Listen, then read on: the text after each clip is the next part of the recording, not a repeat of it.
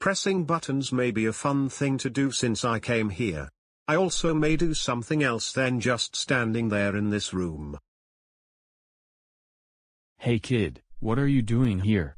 You need to get out of this place or your last name will be Trump instead of Read. Oh shoot! I don't understand why this man ran me out of his building. He's such a jerk like Caillou's mom. Hey, I heard that. Oops, sorry. This is just ridiculous on how some people treat me like trash cans and other stuff. But I'm out of my mind about my ideas. Oh hey, who are you? My name is Ronald Heller. Well Ronald, I'm trying to think about the idea that I can't even know what to do with that. I'll give you the idea, you can go to the underground of the earth so you can find some stuff under there. Not trying to offend you or anything, I'm just trying to help you on the idea of yours. Thank you for the idea Ronald Heller. No problem Arthur, I'll always be here to you anytime when you want to call me. Bye. That was a great idea for the person helped me so I don't mess up my mind over. I'll get a machine to dig under. This is perfect.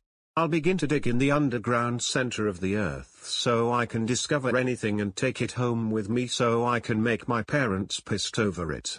That'll be funny.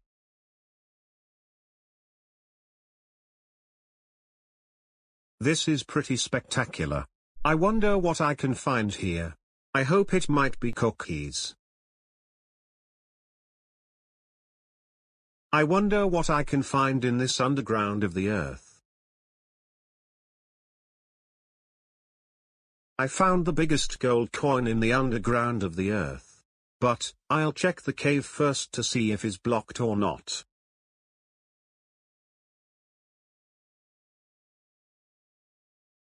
Uck, I don't really understand why that cave is blocked with bricks for no reason. I guess I'm just gonna stay here until I can figure how to get back up.